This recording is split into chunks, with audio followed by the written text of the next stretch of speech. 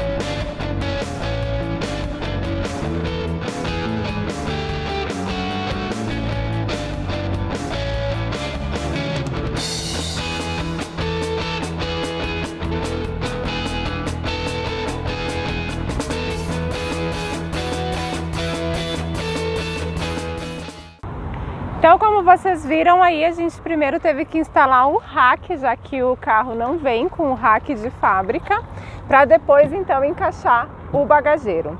Esse bagageiro aqui ele é da marca Sport Rack e ele tem capacidade de 450 litros. Só para vocês fazerem aí uma comparação, o novo HB20S, nova geração da Hyundai, tem um porta-malas de 450 litros. Então cabe bastante coisa. O maior desafio aqui é fazer com que as coisas se encaixem por conta do formato, mas espaço tem bastante. E ele suporta até 50 quilos. Ele vem com uma fechadura dupla, além dos engates né, das laterais para deixar ele bem fechadinho, mas tem a fechadura dupla então com duas chaves né, que acompanha. Eu vou abrir para vocês para mostrar. E a fixação dele é bem simples, não precisa de nenhum tipo de ferramenta para colocar, tá? Essa aqui é a parte que fica por fora, o resto tá tudo por dentro. Então aqui ele tá aberto para vocês verem, tá? O resto, tudo a fixação é por dentro. Tem a ver se eu consigo mostrar então aqui para vocês, tá? Tem esse engate aqui todo por dentro, então deixa bem seguro, porque não tem como mexer por fora estando trancado. E ele vem, acompanha também esses adesivos que cobrem os buracos que não foram utilizados na fixação, para não entrar água. Só que ele não é impermeável, tá? Então, se você pegar a estrada aí com um vento mais forte, com chuva, pode acabar entrando água. A gente já pegou bastante estrada, já pegamos chuva e ainda não aconteceu de molhar nada ali dentro. Mas é importante não levar nada aqui dentro que não possa molhar, porque pode acontecer. Uma pergunta que o pessoal sempre me faz é em relação ao barulho. Mas ele por si só não faz barulho, tá, gente? Ele é bem fixado aqui, ele não se mexe, então ele não faz barulho nesse sentido. O único barulho que a gente escutou é dependendo da estrada, dependendo do vento, aquele assovio do vento, mas também nada que chegasse a nos incomodar.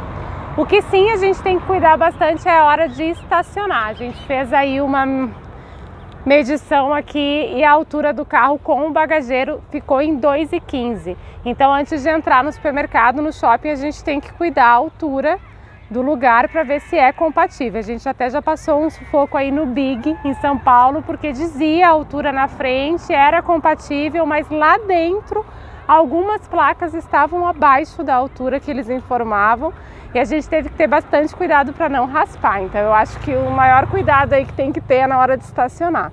De resto, tudo perfeito. E por que, que a gente colocou então o bagageiro? Porque é por conta da pandemia, né?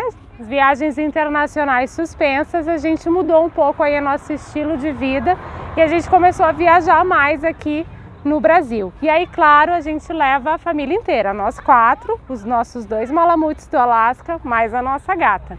E aí quem acompanha aqui o canal viu que nesse vídeo aqui eu mostrei a adaptação que a gente fez no porta-malas para levar os cachorros de forma mais segura e confortável.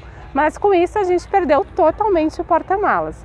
Na nossa primeira viagem aqui no Brasil de carro, a gente levou as coisas dentro do carro, no meio dos meninos aqui no banco de trás. Mas ficou bem apertado e a gente pôde levar praticamente nada. Dessa vez tá mais fácil, né? Que a gente tem aí o bagageiro e a gente trouxe dentro dele duas malas grandes da marca Montanher, que é uma marca lá da Argentina, que cabe bastante coisa. E o legal é que a mala é impermeável, então ela serviu perfeita para a gente trazer aqui dentro. E a gente trouxe bastante coisa, até mais do que precisava, como sempre, mas a gente vai aprendendo. E é isso, hoje faz 75 dias que a gente está fora de casa e aí se você quiser acompanhar mais de perto por onde a gente anda, eu te convido a me seguir lá no Instagram, no arroba aqui por aí e se inscrever também aqui no canal, ativar o sininho e claro, já deixar um gostei no vídeo de hoje. Obrigada para quem acompanhou até aqui e até o próximo.